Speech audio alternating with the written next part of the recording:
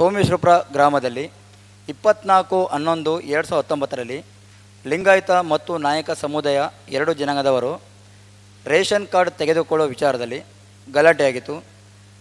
ಆ ಆ ವಿಷಯವನ್ನು ಇಪ್ಪತ್ತೊಂಬತ್ತು ಹನ್ನೊಂದು ಎರಡು ಸಾವಿರದ ಹತ್ತೊಂಬತ್ತರಲ್ಲಿ ಪತ್ರಿಕೆ ಮಾಧ್ಯಮದಲ್ಲಿ ವರದಿಯಾಗಿತ್ತು.